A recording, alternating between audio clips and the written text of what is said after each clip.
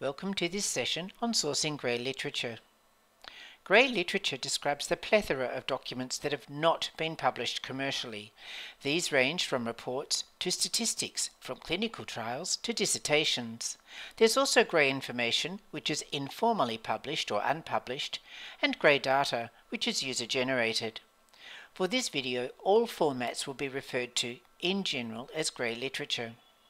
Grey literature can be sourced from databases, from the internet, and from directly contacting researchers in a field of study. We'll start by looking at databases. There are many free-to-access databases that specialize in grey literature. Aggregating databases, such as GreyNet International, are especially useful, as GreyNet's GreySource Index lists grey literature databases by subject.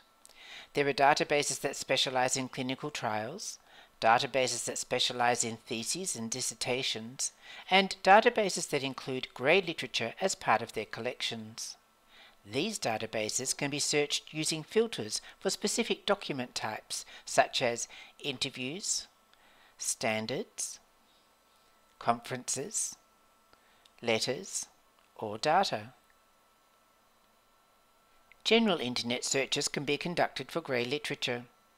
When developing a search strategy, specify what type of content is to appear in search results. Is the search for conference papers, for government reports, or for working papers? If so, include these words in the search. File types can also be specified. Internet searches can be refined so that results are only sourced from specific types of websites. This is done by domain searching. For example, .gov limits searches to only governments and their departments, .edu to educational institutions, and .org to non-profit organisations. A country code can be added for geographically specific searches, for example, AU for Australia, UK for the United Kingdom, and NZ for New Zealand. A state abbreviation can be added to government or education domains, such as WA for Western Australia. Educational institution domain searches depend on the country. Some countries use EDU, whilst others use AC. Researchers and experts in a field of study are useful to contact directly for queries such as accessing raw research data or unpublished or ongoing research. Links to contact details are usually available in articles. Details can include citation analytics, as well as confirmation that the researcher is still active in their area of expertise. A general internet search can also provide current contact details. When considering grey literature for inclusion in research, it's important to note that grey literature is generally not peer-reviewed, and so should be evaluated before inclusion in research reviews.